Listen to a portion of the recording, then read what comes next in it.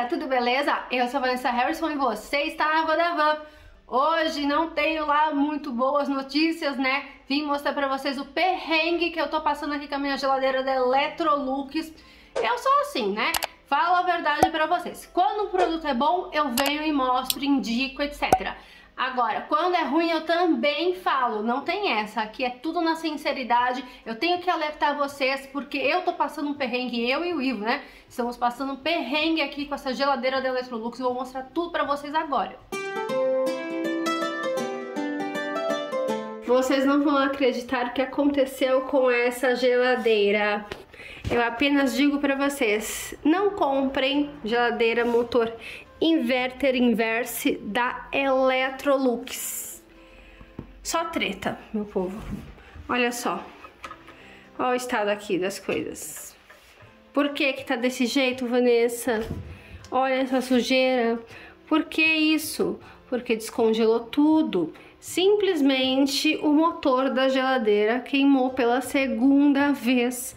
A geladeira tem só um ano e meio e simplesmente queimou o motor pela segunda vez. Na primeira vez, tinha garantia. Aí eles consertaram com a garantia. Na segunda vez, que foi agora, já estava fora da garantia. Depois de seis meses que trocou o motor, teve que trocar de novo. E foi simplesmente R$ 1.650 para trocar o motor porque a geladeira não aguenta nada. Qualquer oscilação de energia que seja um pouquinho maior, já era. Ela zoa o motor. Como que pode? Gente, uma geladeira cara dessa, 4 mil reais. E olha, a Electrolux sabe disso, porque já vem acontecendo há um bom tempo. E eu conversei com os técnicos e eles dizem que a Electrolux sabe sim, e ela mantém dessa forma, não sabe se o porquê. Né? Então, Electrolux, coloca uma pecinha aí, projeta uma pecinha aí para queimar em vez de queimar o motor, né? Uma pecinha de proteção, sabe, tipo fusível, qualquer coisa. É Gente, é simples isso, né? Uma coisa simples, né, Electrolux?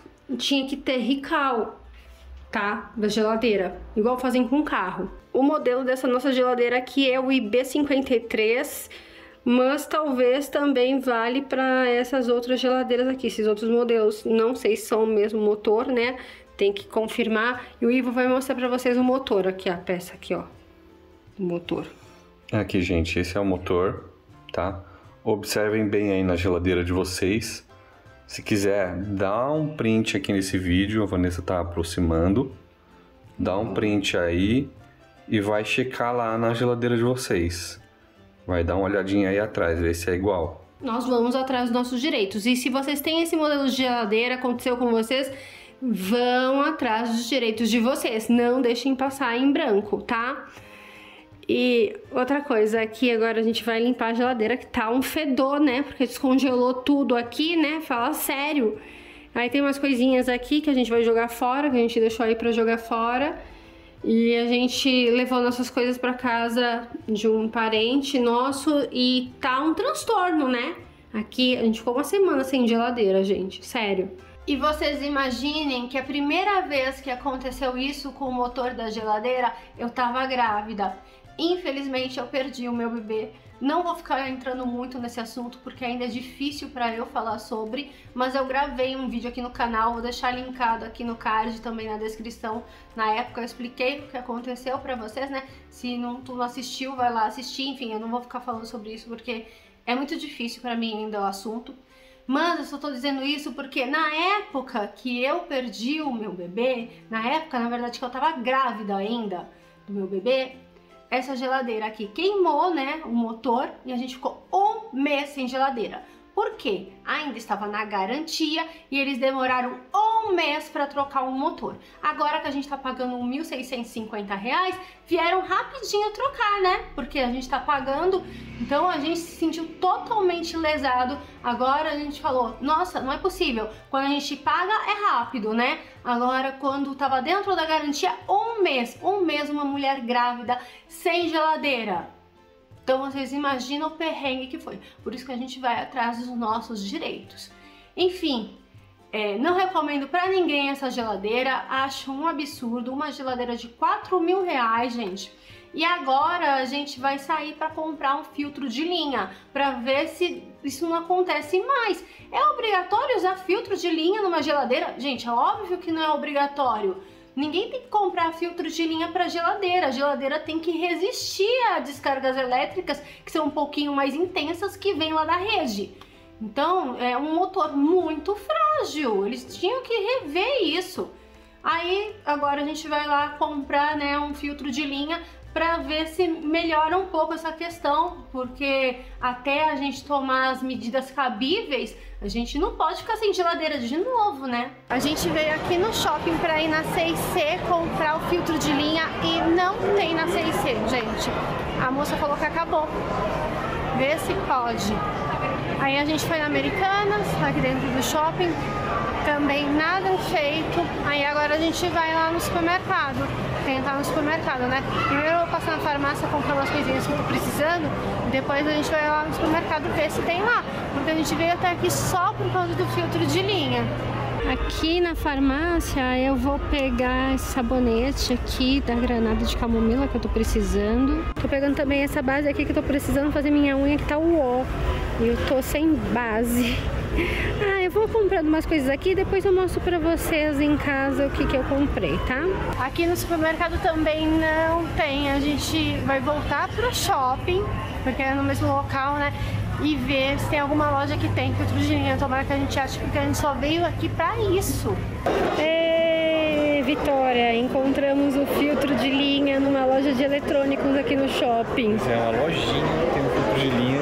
E a 6C não tem? 6C não tem, Não tem, as grandes não tem. A lojinha ganhou deles. Vamos aproveitar que a gente tá aqui, tomar uma casquinha, né? Porque Pois é. gente dá de ferro também, né? Precisa, né, gente? Tem uma, bobagemzinha aí no meio, né? Pois é. Depois a gente vai chegar em casa ainda vai lavar a geladeira, limpar a geladeira, né? Esse aqui foi o filtro de linha que a gente comprou. Já trouxemos também até uns fusíveis, né? Saiu 35 reais o filtro de linha, 2,50 cada fusível.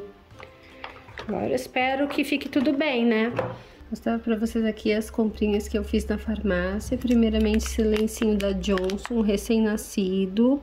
Ele é hipoalergênico e não tem fragrância. Gosto bastante dele pra levar pros lugares, sabe?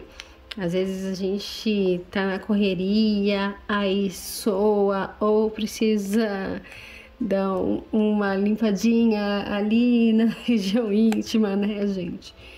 Então é bom ter esses lencinhos. Eu sempre gosto de andar com dois ou três lencinhos na bolsa, assim, que eu separo num potinho. Eu gosto de colocar no necessaire. Aí comprei também esse cicatriz da Dermage, né? Da Dermage. Eu nunca sei como que fala o nome dessa marca, gente. Acho que é Dermage, tá? E eu nunca usei esse produto. Vamos ver se é bom. Eu tô com algumas espinhas na área que a gente usa máscara, né?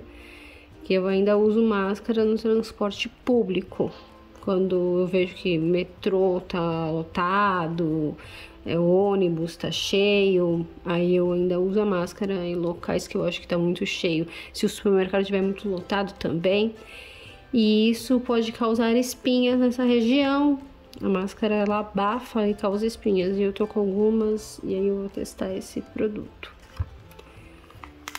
Peguei também esse óleo de banho, que faz anos que eu não uso. Usava muito quando eu era adolescente esse óleo de banho.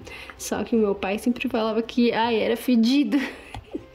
eu não achava fedido, mas ele ficava falando, ai, fedido, não sei o que. E reclamava e eu parei de usar só porque ele reclamava. Aí eu vou tentar usar novamente, né? Vamos ver o que eu vou achar. Eu vou falar pra vocês. Eu gostava muito dele. E aí eu pensei, ah, se caso ele não tiver um cheirinho muito bom, aí eu uso por cima esse sabonete líquido aqui que também é com óleos da Nivea. É Frangipane e Oil. Parece que ele tem umas esferas, ó. Eu acho que talvez ele seja esfoliante. Não sei. É, e de calcinha. Eu sempre compro, né? Hoje calcinha. Ele tem pH neutro, que é muito bom pra gente poder lavar nossa calcinha no banho, principalmente em viagens, né? Precisa dar aquela lavadinha na calcinha. Mas eu sempre uso, assim, quando eu vou lavar a calcinha do banho, às vezes também. Aí eu uso. E por fim, esse desodorante Rolon da Giovanna Baby na fragrância Blank Vanilla. Eu amo esses desodorantes da Giovanna Baby, gente, sou apaixonada por eles. E essa fragrância aqui eu nunca utilizei, então vamos ver se é boa. Lá no shopping compramos algumas coisinhas na Daiso. Halloween tá pertinho, né, gente? Olha só, que coisa mais fofa esse arquinho aqui. Olha essa abóbora aqui para pôr umas balas, uns doces. Um baleiro muito lindo, nunca tinha visto assim. Também peguei esse aqui de fantasminha, que é uma luminária, né? Lindíssima essa luminária. Olha só esse pisca-pisca de abóbora, coisa mais linda do mundo. E aí eu peguei também aqui as baterias, né? Que precisa de uma bateria aqui. Não vem com bateria. E este aqui foi o valor da compra.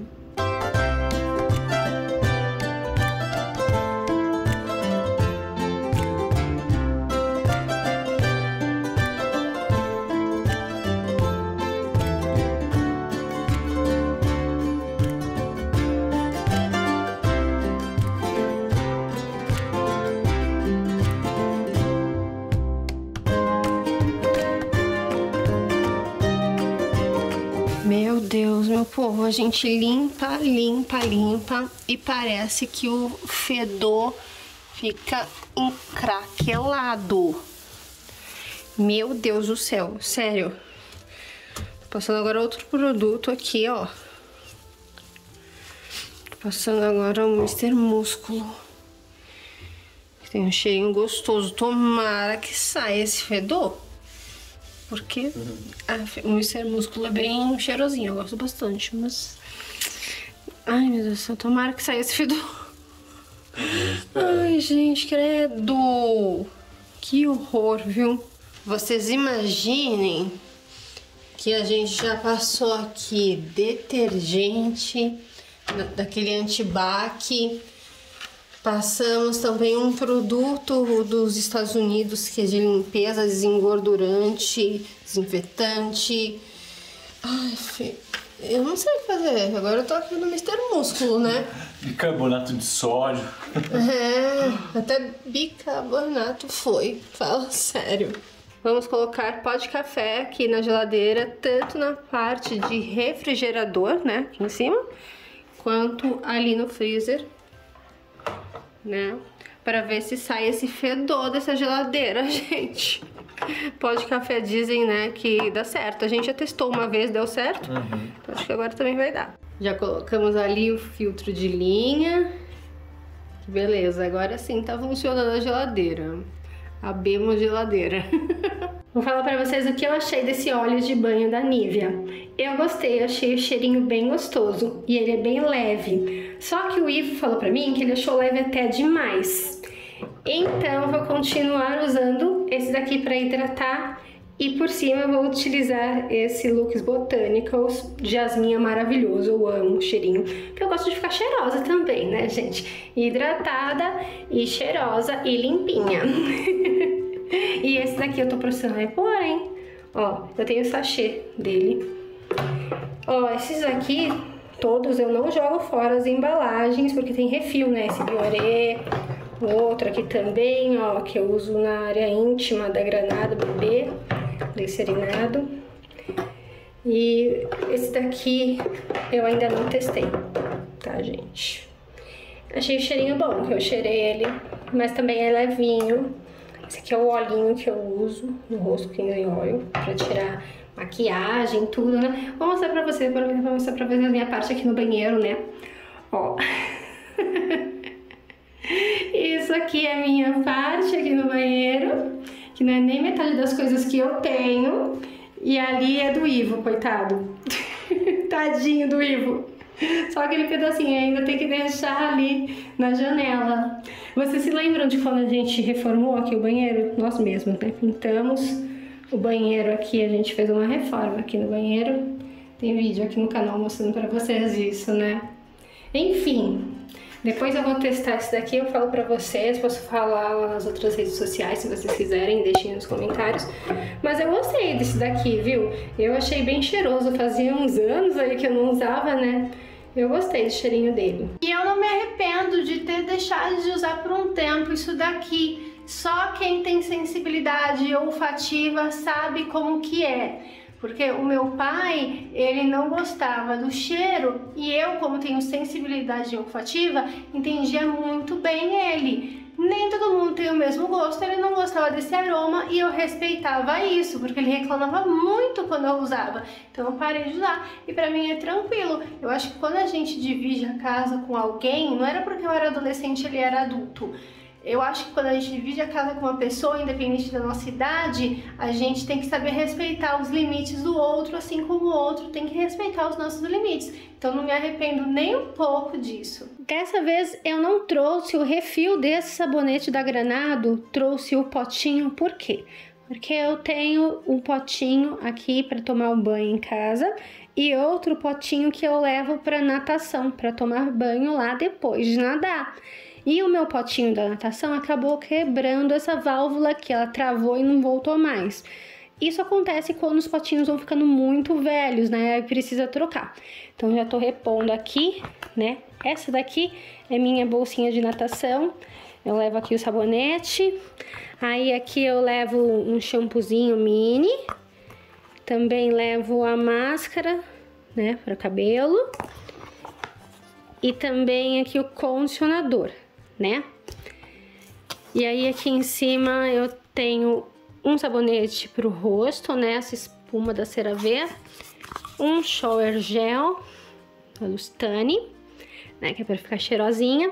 E essa aqui é a minha bolsa, né? Que eu já baguncei toda, amor, mas daqui a pouco... Minha bolsa de banho, porque essa bolsa é bem bacana, Aqui, ó, tá vendo, gente? Ela fecha assim. Deixa eu tirar aqui de cima e mostrar pra vocês. Ela fecha desse jeito aqui, né? Ela é a prova d'água, dá pra pendurar também. Ela é perfeita pra quem faz natação. E aqui eu tenho a minha bolsinha de pós-banho que eu levo pra natação, né? Tem uma escova de cabelo aqui, um olhinho pro cabelo. Tenho também aqui o meu Hair Protector, né? Que é pra secar o cabelo depois que eu saio da natação, que esses dias tá um baita de um frio. Precisa secar o cabelo, né, gente? Queria que tivesse pequenininho desse também, seria muito bom. Aí um creminho pra mão, da Lustane. Um lip balm, né? Esse aqui da Nivea Amora é muito bom. Um creminho pro olho. Um creminho pro rosto, precisa repor também. Tenho também aqui um desodorantezinho, perfuminho, perfume tô precisando colocar, ó. Esse aqui é o Lady Milha, tá aqui dentro, precisando repor já. E aqui um creminho pro corpo, da Lustane, né? Então eu gosto de deixar tudo bem organizadinho, arrumadinho, gente. Eu gosto das coisas assim bem organizadas e agora desorganizei todas as minhas coisas, vou ter que repor tudo no lugar só para mostrar para vocês mesmo. Inclusive, algumas pessoas comentaram já há um tempo atrás queriam ver minha bolsa, minha bolsa de andar no cotidiano, né?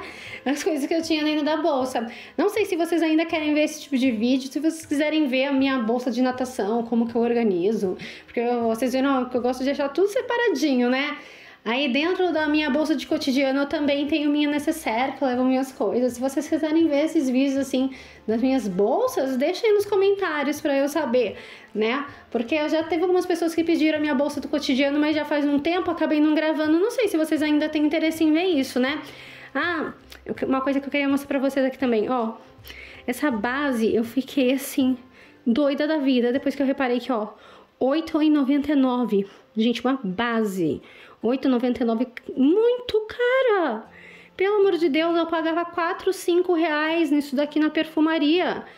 Nove reais, eu achei caríssima. Claro que isso aqui não, não vai ali, né? Mas eu só queria mostrar pra vocês o preço que eu fiquei chocada depois que eu fui perceber. Aff, Maria. Agora a gente tá fazendo aqui um brigadeiro delícia usando esse granulado da Melken que eu comprei lá na Chocolândia, melhor granulado da vida. Vejam que beleza, o brigadeiro. Olha que brigadeiro maravilhoso, gente. E fica mais saboroso ainda com esse granulado da Melken. O da Melken e o da Calebo são os melhores granulados que tem pastéis de palmito, brigadeiros, uma coquinha. Parece até que é uma festa, né? Mas é só uma noite de um finde. Vejam a maciez desse brigadeiro, modéstia à parte, tá uma delícia. É incrível. E esse é o vídeo de hoje, espero que tu tenha gostado. Se tu gostou, deixa o like aí que não te custa nada. Um beijão e até o próximo vídeo!